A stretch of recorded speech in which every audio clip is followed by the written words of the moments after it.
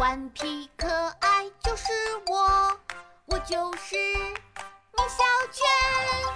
米小圈上学记。联欢会的意外。五月十一日，星期二。昨晚我把魏老师拒绝让我参加联欢会的事讲给老爸老妈听，老爸非常生气。米小圈，你忘记了吗？你会画画呀。可是老爸，我画的真的很难看，万一外国小朋友笑话我怎么办？多丢人呀！老妈帮我想出了一个好办法。米小圈，你还有一个特长，你忘记了吗？什么特长啊？我怎么不记得了？我想来想去都没有想到。老妈说：“你不是会唱歌吗？这算什么特长？我班同学都会啊，但他们一定不会俄语歌。我教你一首俄语歌，你不就可以表演了吗？” 哈哈，老妈真是个天才。吃完晚饭，老妈开始教我俄语歌，我学得很认真，不一会儿就学会了。今天上学，魏老师刚一走进教室，我就把手举了起来：“老师，老师，我有特长了！”魏老师有点不相信：“这么快，米小圈，你一个晚上就能学会一门特长？”我赶快说：“是真的，老师，我会唱俄语歌。”不信，我唱给你听听。我当着大家的面唱了起来，魏老师和同学们鼓起掌来。魏老师称赞道：“嗯，米小圈，你这首俄语歌唱得真不错。可是名额已经满了。”啊，名额满了，我怎么这么倒霉呀？魏老师想了想，但是米小圈唱的真的很好。要不，邢铁，你把名额让给米小圈吧。铁头一听，大哭大闹起来：“我我不让，我有特长，我还会吹小号。”铁头哭得很惨。魏老师最怕铁头哭了，只好还让铁头参加。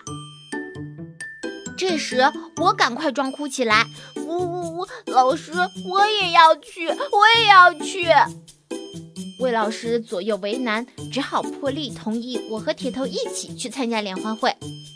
哈哈，太棒了！我们期待的下午很快就到来了，大家兴高采烈地来到学校的大教室。铁头突然指着参观团大喊：“呀，外国人！”魏老师批评了铁头：“邢铁，不许这么没有礼貌。”铁头又喊：“呀！”亲爱的外国人，哈哈哈哈哈哈！同学们都笑了起来。还好外国小朋友听不懂中文，否则一定会被铁头气死的。校长大人宣布，联欢会正式开始。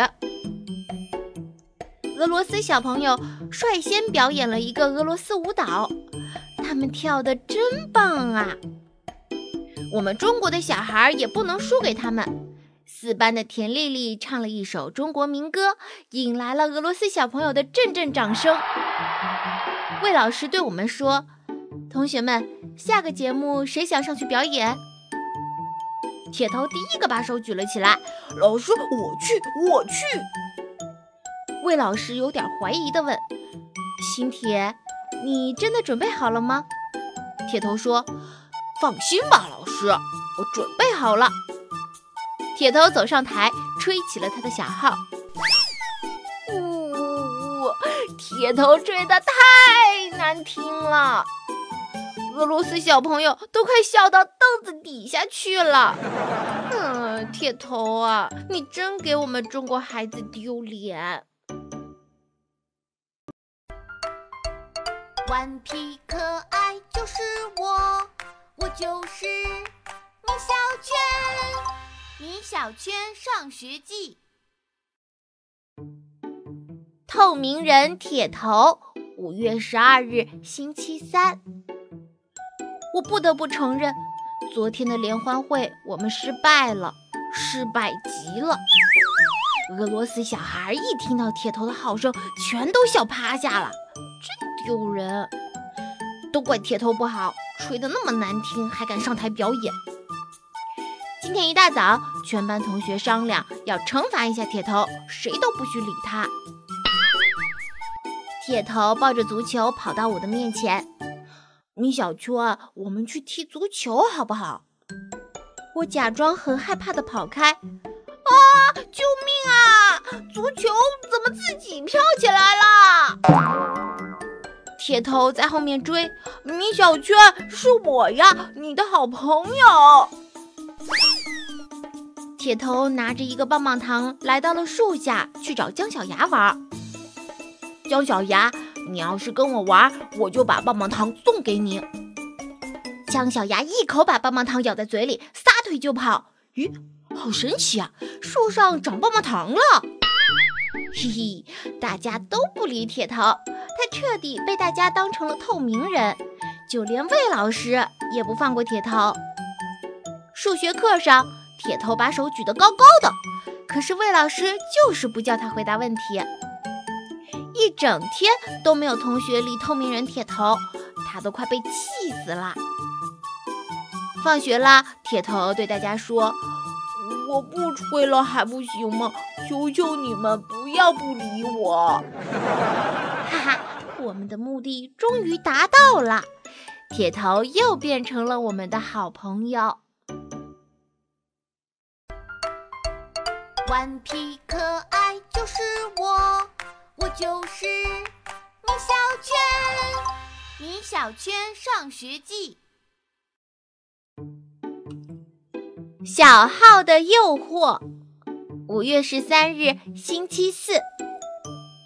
昨晚我把铁头被大家变成透明人的事讲给老妈听，结果被老妈痛骂了一顿。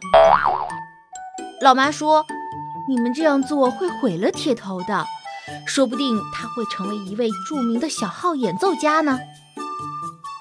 可是老妈，你是不知道铁头吹小号有多难听，真是惊天地泣鬼神呀！今天一大早，铁头就跑到我身边，米小圈，给你。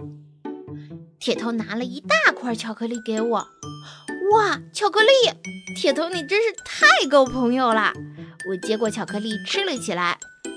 铁头说：“米小圈，你不是在寻找特长吗？”“对啊，但还没找到。”“我帮你找到了，你也可以学小号呀。”“啊，学小号？我倒是很喜欢吹口琴，但不知道小号我能不能学会。”铁头坏笑着说。一定会学会的，米小圈可是个音乐天才啊！嘿嘿，原来铁头也看出来我是音乐天才了呀。我又说，可是我没有小号呀。铁头说，米小圈，为了让你学，我决定不学了。我把我的小号卖给你，我给你打八折。这个这个，可是我得回家商量一下。你可要抓紧，姜小牙也想买我的小号呢。啊，不行，你一定要卖给我。这没问题，谁让我们是好朋友呢？嘿嘿。放学回到家，我把要学小号的事儿讲给老爸听，老爸非常的赞同。哈哈，米小圈，这个特长不错，只要你努力，一定会成为非常非常著名的小号演奏家的。一定会成为吗？我有点怀疑，一定会，因为你是我的儿子嘛，哈哈。可是老爸，你唱歌跑调呀，哦，这个这个，反正会成为的。我和老爸拿着八百元钱跑去铁头家买下了铁头的小号。老爸太慷慨了，放心吧，我米小圈一定会努力的。顽皮可爱就是我，我就是米小圈，米小圈上学记。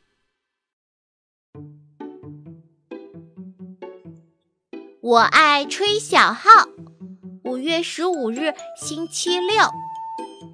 今天我上了有生以来第一节小号课。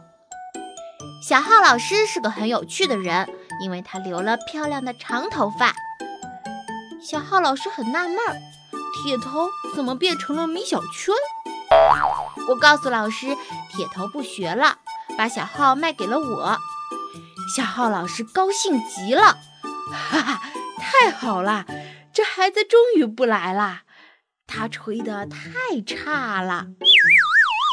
嘿嘿，看来小浩老师也受不了铁头的号声。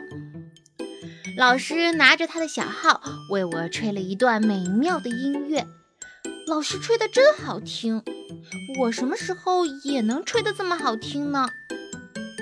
小浩老师说：“你这种八百元钱的小号只是入门级的，如果换一个贵的，可以吹得更好听。”奇怪，老师怎么知道我的小号是八百元买的？小号老师说：“这有什么奇怪的？这把小号是我带邢铁去买的，才花了八百元，够便宜吧？”嘿嘿。啊，才花了八百元？呜，铁头骗我说是一千元买的，还给我打了个八折。铁头，我跟你没完！我本以为小号课一定很有趣，可以吹很多美妙的曲子，可是小号老师却说，吹曲子是一年以后的事情，第一年只能练习基本功。结果第一堂课，小号老师只教我吹了一个音节，哆。哎呀，好无聊啊！下课的时候，小浩老师表扬了我。米小圈，你比邢铁强多了。他第一节课连哆都没学会。老师，那我下节课是不是可以吹曲子啦？老师想了想，好吧，下节课开始让你吹曲子。老师万岁！我高兴地跳了起来。老师接着说，是由哆和拉组成的曲子。呜呜，那不还是吹音节吗？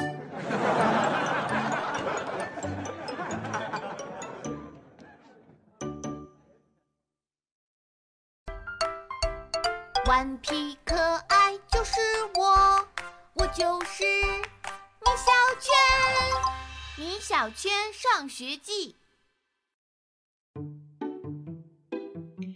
我不会放弃的。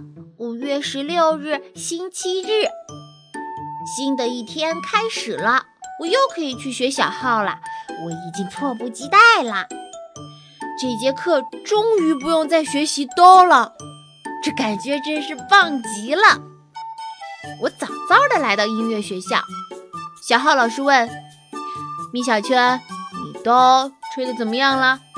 老师，没问题呀，我已经倒吹如牛了。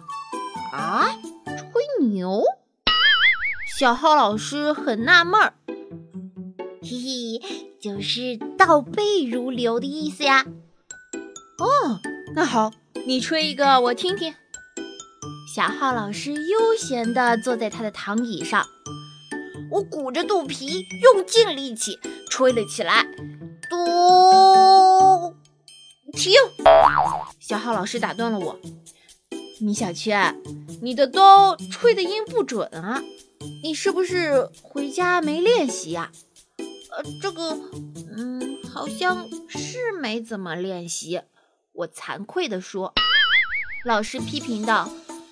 我不是跟你说过吗？必须天天练习才行，否则就会退步。可是老师，我一吹，邻居就会来砸我家的门。小浩老师说：“米小圈，你记住，所谓天才，就是不论你怎么阻止他、打击他，他都不会放弃的人。你是想做天才呢，还是蠢才？当然是天才。”那你就不要管别人的看法。嗯，老师，我明白了，我回家一定好好练。老师，快教我下一个音节吧。不行，你退步了，得重新学。小浩老师拒绝了我。呜，结果我又吹了一节课的灯，好无聊呀。嗯，不。过，我觉得小浩老师说的对，不管谁阻止我，我也要吹，这样才能成为一个天才。